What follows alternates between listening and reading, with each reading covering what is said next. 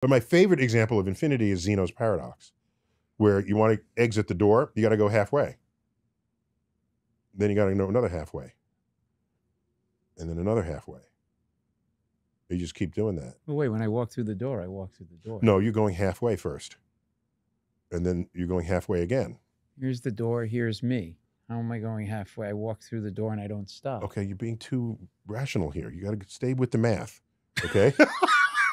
you want to exit the front door. Before you get to the door, you have to cross the halfway point, don't you? Halfway point of what? Between where you happen to be standing and where the door is. Yes. You, we agree. Okay. Okay. Now you got to cross the halfway point between there and, And the door. half. Okay, I got you. And then the half and the half and But the it's half. so random to pick half. You could say I got to pass the third, the point at the one third, I- point I- at one third, one. At, I could have. That's correct. okay. All right. But so there's an infinite number of halfway points. Yes, I get it. And Zeno saw this and said, by that reasoning, you'll never get to the door because it's an infinite. But of course, you do get to the door. So what's going on? And what he didn't realize is that you are covering more and more halfway points in less and less time. And the infinity actually converges to a finite amount of time. Right.